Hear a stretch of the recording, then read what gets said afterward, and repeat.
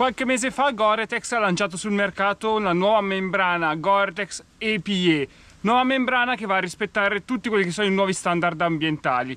È arrivato però il momento di mettere alla prova questa membrana a vedere quanto veramente è impermeabile. Oggi infatti siamo all'undicesima uscita con questa giacca che è la Rab Namke, che è una delle prime che è uscita con questa membrana. Piove e andiamo a vedere un po' come si comporta questa nuova membrana Gore-Tex.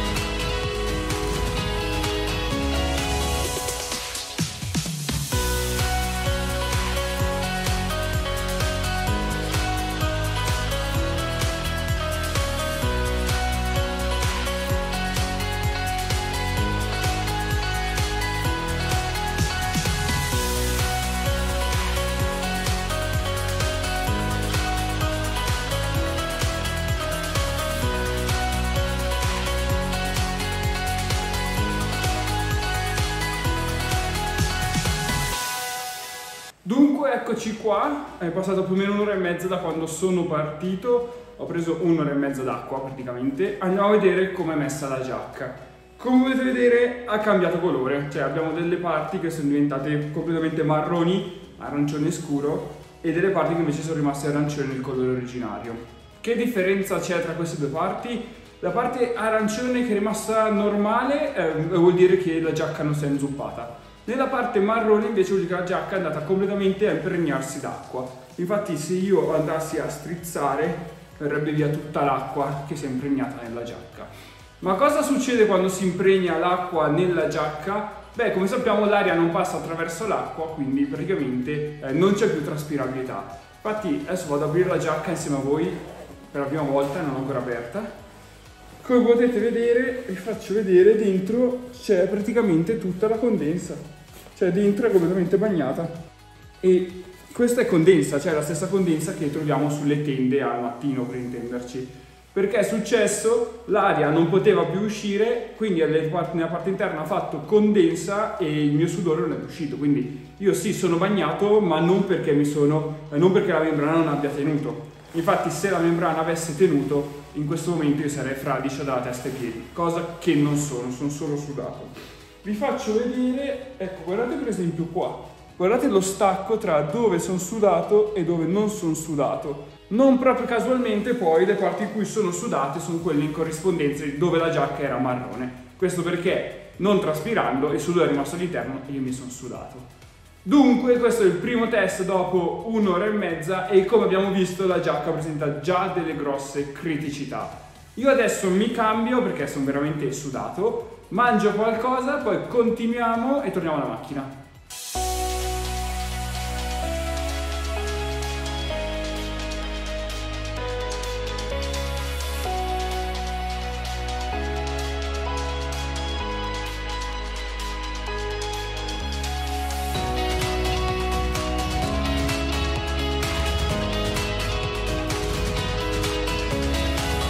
Eccoci dunque tornati alla partenza, è passata all'incirca un'ora da quando sono ripartito al rifugio e siamo a due ore e mezza da quando ho iniziato il test.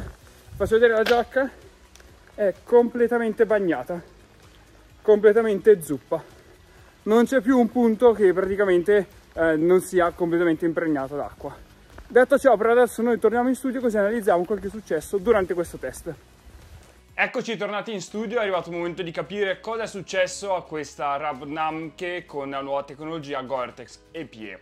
Iniziamo per quanto riguarda l'impermeabilità, direi che da questo punto di vista test più che superato. Ho preso due ore e mezza di acqua con dei momenti in cui veramente veniva giù eh, bella fitta, veramente pioggia torrenziale e devo dire che l'acqua non è mai entrata. Quindi dal punto di vista dell'impermeabilità Gore-Tex ha fatto un'altra membrana che resiste veramente molto bene all'acqua. Il problema l'abbiamo avuto sulla traspirabilità. Qui per capire il problema bisogna fare un passo indietro. Vi ricordate all'inizio video quando vi ho detto che questa sarebbe stata l'undicesima uscita con questa giacca? Ecco, vuol dire che io avevo già utilizzato per 10 volte questa giacca sotto l'acqua per un totale di circa una cinquantina di ore, di cui di queste 50 ore un 42-43 ore tutte sotto l'acqua. Cosa è successo durante il periodo di test prima di questo video? Che l'acqua che ho preso, la pioggia che ho preso è andata a lavare via completamente il trattamento DVR. Se non sapete cos'è il trattamento DVR ci ho fatto un video apposta, ve lo lascio qua in alto a destra, ma eh, generalmente, giusto per fare un riassunto, il trattamento DVR è un trattamento chimico che si fa sulla giacca per far sì che l'acqua scivoli via e la, la parte esterna della giacca non vada a inzupparsi. Come abbiamo visto a me si è completamente inzuppata, questo vuol dire che il trattamento DVR era praticamente finito. E giusto per chiarirci, io ho voluto comunque portarla alla decima uscita per fare il video, per tenere uno standard, ma vi assicuro che già alla sesta, settima uscita era da rifare il trattamento.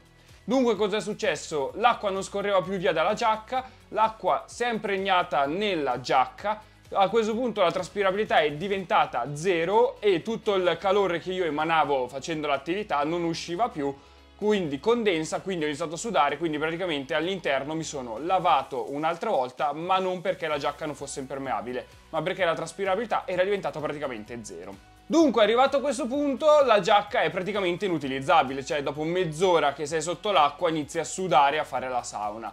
E cosa si fa? Non si butta la giacca, assolutamente. Bisogna comprare una di quelle bombolette, di quegli additivi che vanno a far riapplicare il trattamento di VR. In questo modo la giacca tornerà praticamente come nuova.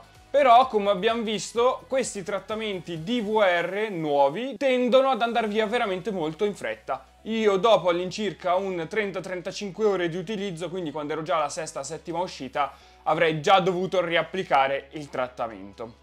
Ma dunque qual è la vera rivoluzione di questa nuova membrana EPE? Perché naturalmente se Gore-Tex l'ha presentata ci sarà anche un qualcosa di nuovo. L'aspetto completamente rivoluzionario non è visibile ad occhio nudo. Non è visibile ad occhio nudo perché riguarda tutto quello che è l'emissione ambientale. Infatti Gore-Tex ha dichiarato che per fare queste nuove membrane EPE va a consumare molte meno energie nel momento in cui va a produrla e questi nuovi trattamenti DVR senza PFC eh, fanno sì che con il PFC non si disperda nell'ambiente e fa sì che questi perfluorati non vadano a intossicare le nostre acque. Di contro però, come abbiamo visto, sono molto meno durevoli rispetto al passato. Quindi dunque il grosso vantaggio non lo vediamo ad occhio nudo, ma è tutto ambientale, tutto nel rispetto dell'ambiente, tutto per andare a inquinare sempre meno il nostro pianeta. Detto ciò ragazzi, adesso sapete qual è il grosso pregio, ma anche qual è il difetto di queste nuove membrane EPE. Adesso sta a voi farmi sapere qua sotto nei commenti se per voi questa membrana è veramente rivoluzionaria oppure solamente marketing. Quindi aspetto le vostre risposte qua sotto nei commenti e nella speranza di avervi aiutato a capire questo nuovo membrana IPE vi ringrazio per aver guardato anche questo video e noi ci vediamo al prossimo. Ciao!